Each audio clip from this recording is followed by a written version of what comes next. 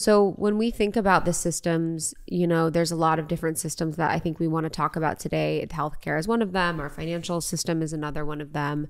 Um, I want to talk about those as it relates to how we think we got to a place where we have this insidious corruption.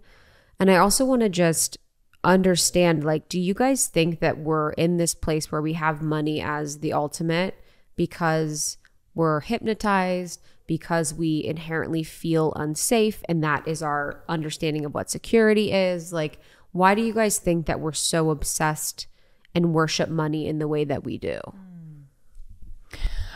I think like initially what comes to mind is that like our identity is so wrapped up in mm-hmm. money where like it is the accepted literal currency but mm-hmm. also currency of like here's what I do, here is how successful I am and here is how I can prove it. Um and so I think it's really hard for people to let go of that part of their identity or not make it a priority or the thing that they are working for because I think people need like that tangible, very uh, immediate validation of this is what I do in the world and this is kind of the proof that I'm doing well in the world. Like a perceived purpose. Yeah. Yeah. And I mean, I feel like we've all, you know, had this experience with money mm-hmm. where like I remember being in my 20s and being like so broke at times mm-hmm. and feeling so low, so sad, so unworthy of so many things, not just money. And I was always confused by that feeling because I'm like, wait, why? You know, it had such a hold on me and such a chokehold. Um, but I think people love to identify with something. And I feel like money is just a really mm-hmm. easy and common way to do that. Yeah.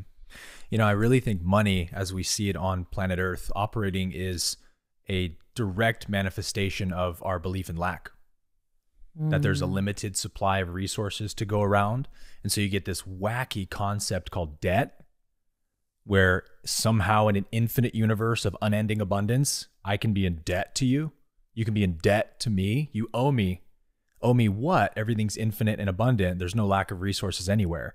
So in, in the law of one, in natural law, you can't be in debt. Debt is inherently scarcity consciousness, right? Mm. And money becomes, as soon as we think we're an ego, a separate self, money becomes one of the first things that will evolve out of that because lack, scarcity. There's a limited amount. We got to make that that amount that's limited in a physical form that I can possess for myself. And so you get the I am what I have identity. If I'm only as good as my bank account or the assets I own. And okay, so from that level of consciousness, you can see why everything turns into a for-profit system that corrupts everything because everyone thinks money is the most important thing in the world and that there's a limited amount of it and we're all fighting each other for it. So of course you get these competing corporate systems that develop monopolies and eventually control all these systems. It's like ego consciousness is a black hole that has no ending to it. It always wants more. It's always absorbing into itself and it will never be satisfied. It, you'll never get enough money, right? Look at these these families, the Rothschilds and Rockefellers, they've had they're probably trillionaires. Yeah. And all that they're doing with every waking second of their life is how do I control more? Mm-hmm. It's like you, you're not good yet, bro. Really? Like That's what I think all maybe the you time. need a hug or something. Mm-hmm. with like Kardashians. when is it enough? Yeah, with like the Kardashians, I'm like, guys, stop. Do we need Kardashian closet? Exactly. Because like when they post I'm- their, they I post know, their I'm like- stuff on like Poshmark. Pardon me? It's called Kardashian Closet. They like post their like clothes to sell. I'm like, I'm like, donate them, y'all. guys. You don't need to make like Yeah. a quick money selling. I'm like, I guess you're recycling. I don't even know, but yeah, it's like, do you think that is so? Our inherent belief in belief in lack and people's identification with um, who they, what they do, or how much money they have is their purpose. I guess like I'm just trying to go back even further. Like, do we feel like from a cellular level we've just been injected in the belief that we are lacking or like when did this happen because if we think back in history was there such an obsession with money or was it more with power or what was like when did the transition happen where now we're more in like the material world like mm-hmm. material is god money is god wealth is number mm-hmm. one rather than in the past in history. It was probably more about power, land ownership, or some things that might might have looked a little different. Mm-hmm. Yeah. Well, you know, like in Native American cultures, they don't understand what owning means. It's like a weird concept to them. Like, how could you own the spirit of creation? You know, land. You how do you own land? It's already God's. So even owning is in that sense mm. a separate self concept that only arises from ego. In terms of history, I'm not exactly sure when like money as a Yeah. tangible currency developed. I know that we used to be in a barter and trade mm-hmm. system. And really, just because as humanity evolves, we need more efficient systems to do things, right? So if I sell apples or whatever, it's not super convenient for me to have to always carry around my apples to barter and trade if I need fish or bread or whatever. And likewise for everyone else. And so at some point, maybe it was the Romans, I don't know, probably way before that. Um, someone developed the idea that let's all agree on something that has inherent value, which is always precious metals, gold and silver. Let's make little tiny amounts of it that we can all possess, and then we can trade those instead of our fish and our bread and our apples. So it's more convenient. But then even that outlived itself after a while because there's only so many bars of gold you can carry around with you. And it's pretty risky to carry gold around because you can get robbed, right? And have all your your inheritance stolen from you in a in a second. So even the idea of carrying around gold and silver became a problem at a certain point. And so then we had to get one more step removed from reality, which is okay, let's now make these gold and silver coins into paper IOUs. And then you can just carry around the paper, which is super light. You can carry a lot of it. You can travel from far lands and not have to haul, you know, 500 pounds of gold with you to take all your assets with you. And then we'll put the Illuminati triangle on it. And then we'll stick the Illuminati triangle on it and they'll own the world. And the end. That's how it happened. exactly. That's a fast forwarded version, though, Yes, of how it it actually is. happened. So that's when banks Mm, were introduced, and banks is when the monetary system, all around the planet, became very corrupt very quickly. Because let's think about it. Let's pretend you and I just came up with the first idea of a bank, which is again, hey, you guys are having issues transporting your gold and silver all around, and it's really heavy and inconvenient. I'll hold it for you. We have safes in here behind vaults. We'll keep your money safe and we'll give you paper IOUs that represent how much gold you have here. And anytime you want, you can come exchange a paper for a piece of gold. And all we're going to do is just charge you a little percentage off what you're storing so that we make a little money for the work we're doing, right? All fair so far. Sign the contract. Let's do it. And then you and I are like, hey, we got all this gold in here. Like, we could probably use it to, like, you know, barter and trade in the back door without, they, they don't have to know. We're just going to accumulate more gold. So it's good for everybody. But, like, we'll use all this gold to start profiting behind closed doors. Mm. And so then it was like, let's lend the gold out and then charge interest on those loans. And then it was, let's lend out gold we don't actually have. This is called fractional reserve lending, which is the current system we have, where like everybody thinks a bank is a place where they keep your money for you. And it couldn't be further from the truth. Banks have no money at all. They have they have no credit or collateral of their own. When you deposit your money in a bank, they consider it, and of course they don't tell you this, but they consider it a loan. You're loaning us your money, so we can do whatever we want with it. You loaned it to us. So they go and they they buy and trade bonds with it on the bond market. They make all kinds of money off of your money because they don't have any money themselves. And so they use your money to generate it for themselves without telling you about it. And so their rule is as long as we're only loaning um, uh, 10% of the money we actually have, then we're good. Like at least as long as everyone doesn't run to the bank at the same time and say, give us our money, we'll never have an issue with that. And so that's what happened in the ancient world where banks started doing this stuff where they would um, they would write out way more IOU notes, which we call paper money, than they actually had gold in their safes, right? And so at a certain point, if there was an economic downturn, people get a little nervous about where their gold is. So they say, hey, I'm going to take my gold out now. Here's all my IOU notes. And like a 100 people do that at once. The bank has to admit that they've been um, bad actors with the money they've been given. And they say, um, we don't have your guys' gold in here. We don't have any gold to give you. We traded it on the bond market. And so then you have people overthrowing banks in the ancient world, and they would literally hang these people in the public square because it's seen as like the most The bankers? yeah. Wow. The most dishonorable thing you can do to a man is to lie and steal his money and his inheritance from him. Mm. So it's like punishment by death, right? So banks had to learn how to get more and more crafty and clever with the way they did things. And so now we, we have this world today where bankers and banks own the entire world. The, the banks own our government because our government is insolvent and bankrupt to the banks, right? So technically, everything we see, like the Biden administration doing, it's all the banks doing that thing, but they're just casting the orders behind the curtain. You need to say this. We're going to war with these people. They're running the whole country because the the U.S. government is their debtor, right? They're in debt to the banks. When someone's your debtor, they're your slave. They do whatever you say. Wow. Because it's like trillions of dollars in debt, Yes. aren't we? Yeah. Yeah. 30, 36 trillion. And then the bank is owned, the Federal Reserve is owned by. The Federal Reserve is owned by the IMF, which is a European British organization. So, and this gets into the whole thing we won't go into because it's a it's an entire podcast, but the United States is actually a British colony. We're owned by Britain, owned by the crown. We're not actually a sovereign independent nation. We've been totally lied to about that in our history books. Britain gave us the illusion of sovereignty after the Revolutionary War. But if the more you study like the IRS, the mm-hmm. Federal Reserve, the IMF, everything financial whatsoever always goes back to the crown. And that's because the crown actually owns the United States. But they wanted to give us our dream of independence. And so they said, look, we'll sign these commercial contracts that all your banking systems are run by us, but you can just tell your people you're free or whatever. And so that's what we did. And we told everyone we were free. And we sort of are, right? But um, there's a contract where we're signed to Europe without you and I knowing this, which is what's allowing them. It's like a foreign arm in America controlling our whole monetary system. And he who controls the money controls the country, right? So we're waking up now to this fact that, uh, let's say, the Federal Reserve Bank, the Federal Reserve Bank is not federal at all. They have no affiliation with the federal government.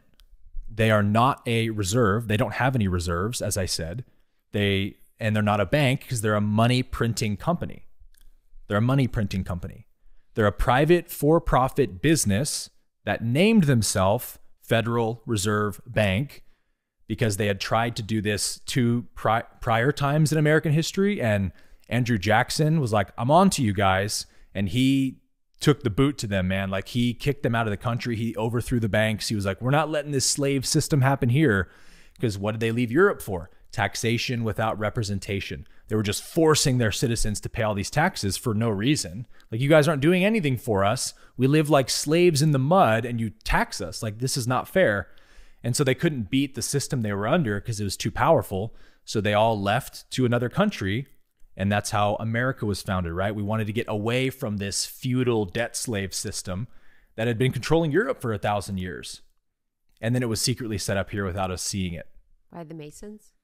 Yes, there's a lot of groups. There's the Masons. There is um, the Jesuits is a big one in the in the Vatican and under the Crown. I was going to say the Vatican because it will because the crown goes back to the Vatican. Essentially, yes, Okay. And so, the, but the Vatican's its own financial system. yes. The Vatican is not a part of England or um, Rome. Sorry, just like London's not a part of England. It's a sovereign city, um, nation state. Washington D.C. is the third one of the three. It's also not part of the United States of America. It's a sovereign nation state. Yeah. that's owned by the corporation United States. So this is where we get into the for-profit stuff, right? So Federal Reserve Bank, lie, lie, lie. None of those three things are true. It's a money printing company that did a deal with the government back in the early, I think 1800s or something where they said, "Hey, you guys have this new government over all these people. Um, let's do a deal where we'll print your money, as much money as you want, and you'll get into debt to us for printing your money. And that's the perfect excuse you'll have to tax your citizens. Taxes go to paying off our debt. And we're all Americans, so it's all of our debt. So we all should want to pay our debt back and do our civic duty, right? That's the illusion that they sold the American people. And of course, it's not our debt. Like you and I didn't take out any loans from the Federal Reserve. They they took out like I think it was 21 million dollar loan during the Civil War, I think, and or the Revolutionary War from the banks because they're like, hey, we don't have money to pay for all this military equipment and stuff, um, and soldiers. Like, can can we take a loan out? And they were like, sure, but it's going to be at a high interest rate, and the interest rate was so astronomically high that it was obvious it was a deal that they both parties clearly wanted to get into an eternal debt because it's a there's a mutual interest there.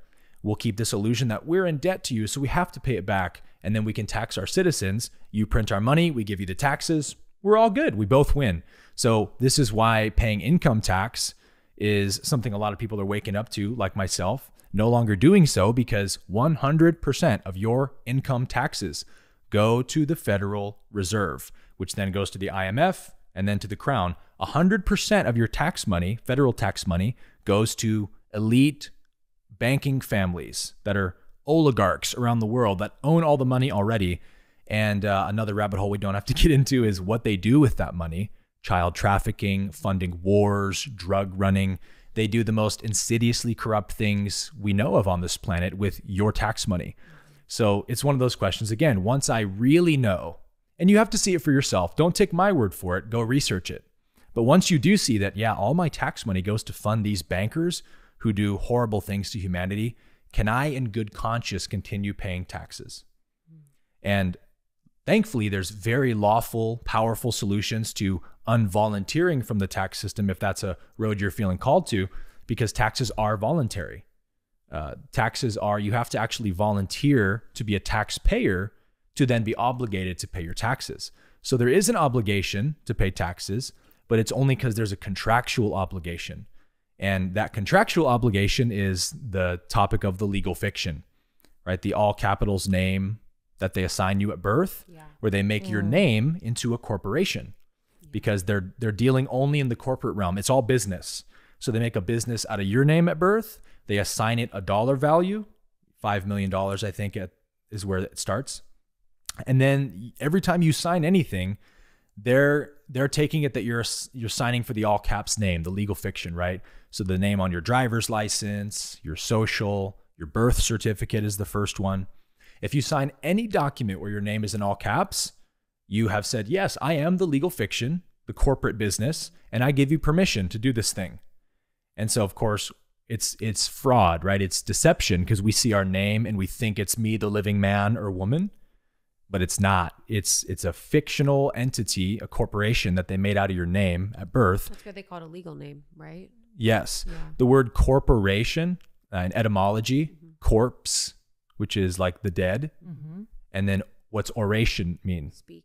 Speak. So corporation literally means the dead speaking, or dead speak. So like a corporation is a dead entity that doesn't actually exist, like um Facebook, Instagram, McDonald's, right?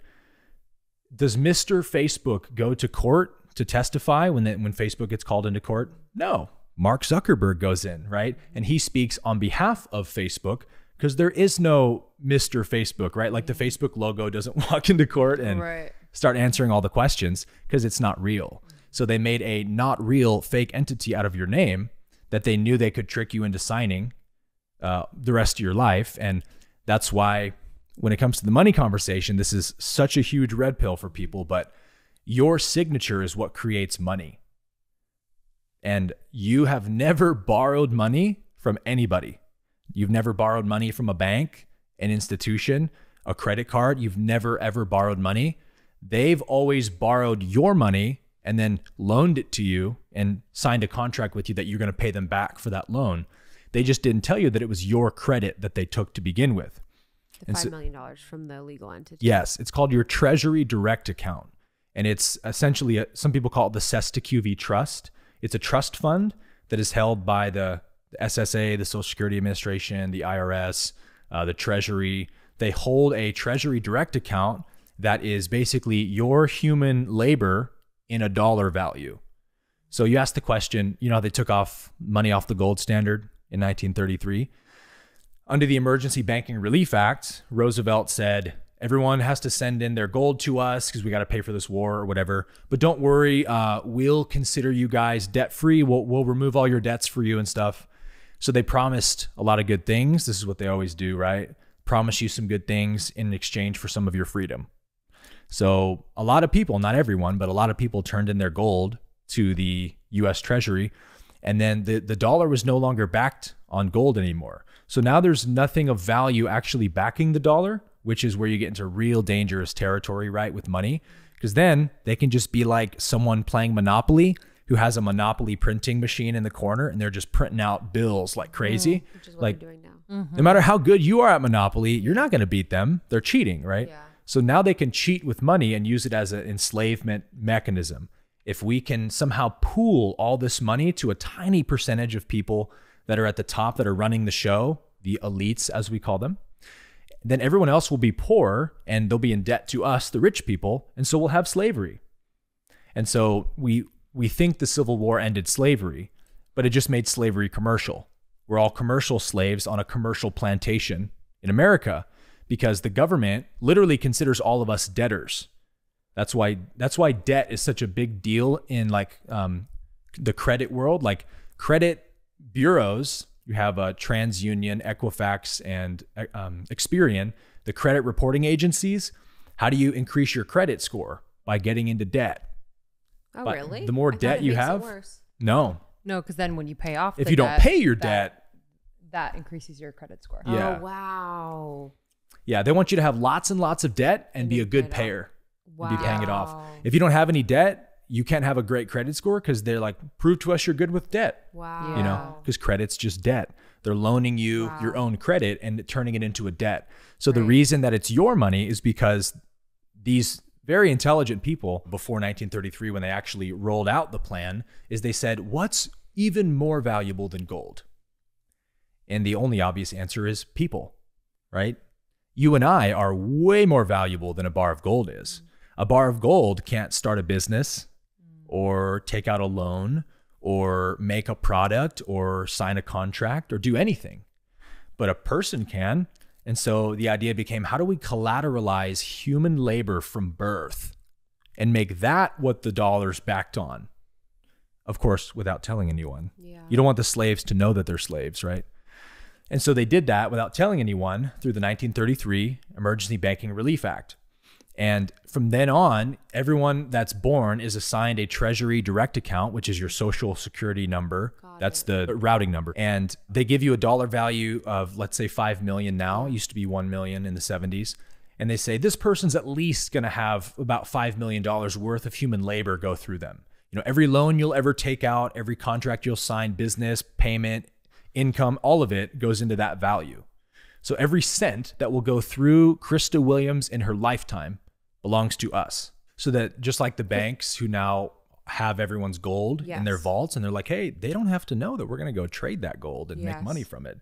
That's why they want to mm. collateralize your human labor and then go trade it on the bond market. So they literally make a they they it's called securitizing your birth certificate, Okay. Your social security card. It all has a financial Okay. value to it, and then they go trade that on the bond market. So basically, at birth, you're assigned the $5 million to the Treasury. They don't tell you about it. Yes. And then behind the scenes, they're basically like selling it on the market.